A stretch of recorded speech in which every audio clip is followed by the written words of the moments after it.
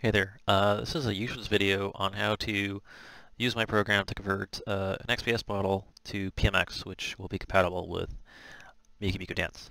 Uh, before we get started, it's worth noting that uh, this is not a end-all be-all solution to get your models into Miku Miku Dance. Often I get uh, messages about people saying that the, the models are not animation perfect. Um, yeah, it's uh, it's just a, a basic conversion from one format to the other, and it still does require refinement. Um, notably, the PMX editor is uh, most common to uh, be used to refine these models because um, it has a lot of data associated with it, physics data, for example, uh, which is best configured in the editor. However, Blender uh, is uh, got plugin support for the PMX format.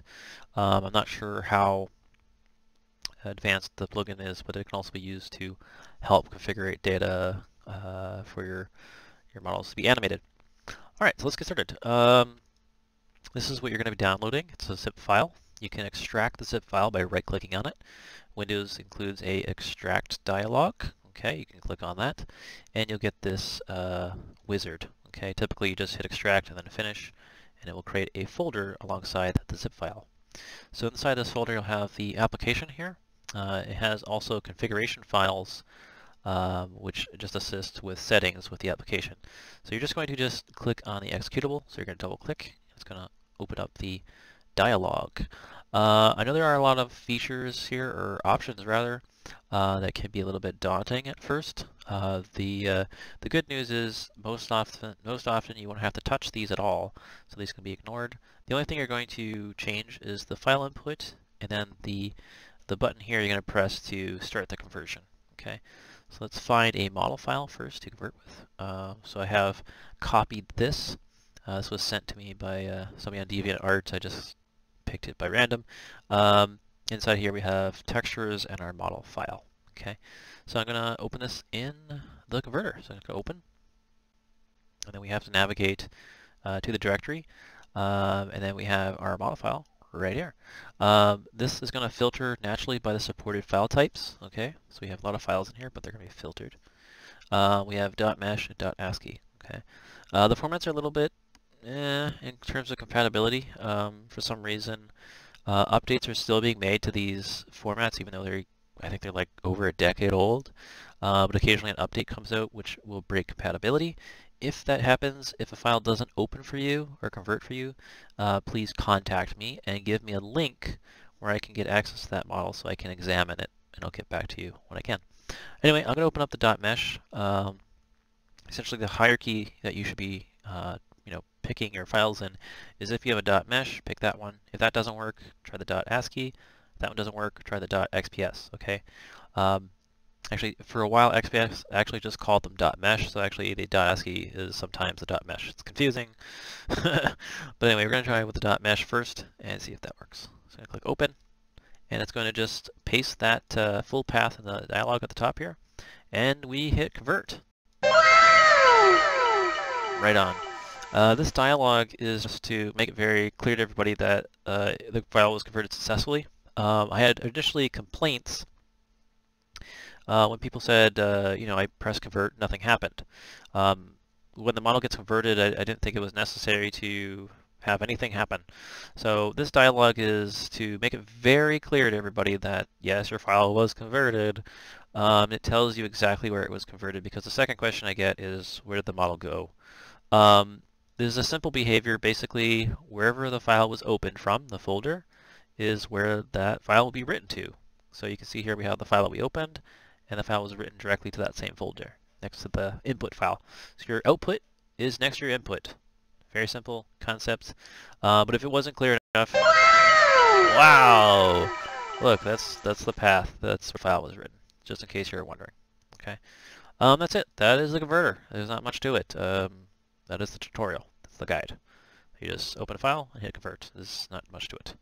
Um, there are some advanced features. Um, I will show you one feature, and that is the bone renamer. I'm going to show you this uh, file first before we do that. I'm going to open it up in the PMX editor. Um, we're going to look at the bone names. The bone names are used for animation, um, and the animations are created off the bones, uh, which are referenced by its name. So during uh, in this tab here, we'll see that uh, this XPS model had English names. Okay, um, these are standard XPS names. They have a particular naming convention that uh, uh, the community tries to stick to. Okay, now we're going to convert this with the bone renamer. All right, now we're going to open this up in the PMX editor, and we'll see that the bone names were renamed. Uh, this makes it more compatible with animations, and I'll show you how that works in uh, Miku Miku Dance after this. So this is the same model, uh, but the bones are now renamed, and they now have Japanese naming conventions, which should make it uh, uh, more compatible with uh, the animation files that are saved by the Miku Miku Dance community. Okay, so let me open up uh, quickly Miku Miku Dance and we'll load that up. We'll have a look at that file. Just open up our model. Wait, yeah, what am I doing? It's right here. Alright, we're going to OK to that prompt and there's our model. Okay, these uh, orange uh, bones through our legs, these are uh, inverse kinetics. Uh, so those operate different. You have to grab the goal Okay, uh, but we're going to load an animation file and see how that works. We're going to go load animation. I just downloaded this motion off of DeviantArt today. I don't really know, you know much about it. It's just telling you that it's going to link the animation to the names of the bone. Okay. And then if it works, we'll see that the character pose changed a little bit. And we can hit play. Alright. Now, it won't work perfectly. There's a lot of things that need to be factored in uh, basically bone limitations, limits. Um, the initial pose of the character has to be matching the uh, idle, idle pose. So uh, this is Ashley Graham from Resident Evil 4. So Ashley is actually imported in a T pose, and she needs to be imported in an A pose. Uh, so her arms are pointing down, but uh, because she was on a T pose, they're pointing outwards in an A pose. So there's a lot of problems here. This just gets it kind of in a working state to start from, uh, but there's, of course, more steps that need to be taken in an editor to get it uh, more functional. Okay, but anyway, that's what the uh, the bone renamer does. Uh, it gets it to a more functional state for you. Uh, this is all hinging, though, on the fact that the names are in a, a certain naming convention. So if they're not, uh, this won't work. Okay, if you click this button here, open table, you'll get a text file. And the text file is a uh, bone renaming template. So I'll just find the actually lower section. So what I usually do is I take a list of names, and these are the Japanese names that are used for uh, their animations, and I paste them all down here. Okay, and then what I do is I I, uh, I go tab. So I just basically how this works is uh, JPN name tab the English name. What the heck am I doing? English name. And so it's what they say tab delimited. So that's separated by a tab. it's very important that you put a tab there. Um, and so yeah, so what I do is I paste all the Japanese names down here.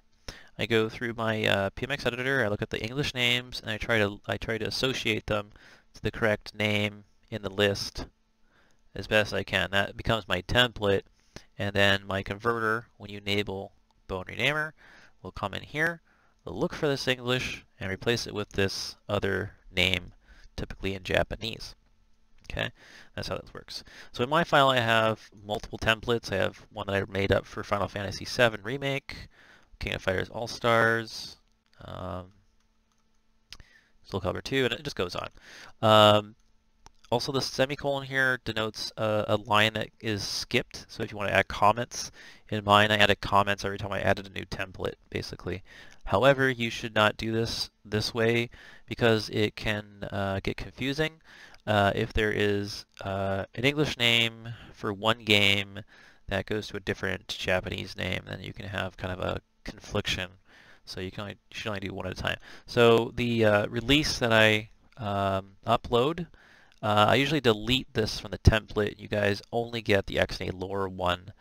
You only get that template so that you can make your own uh, if you wanted to. So that's how that works, uh, basically. And uh, then we have some more features here. They are not so significant. Uh, I will make a second video discussing that and a more detailed video discussing those features they're really not that useful, to be honest. Um, they're just added every time I had a personal problem with a project that I needed to get solved. I just added into the interface myself. Um, but they may help you guys, so I will put that in a second video. That'll be linked in the description below, and you get more information on that uh, there.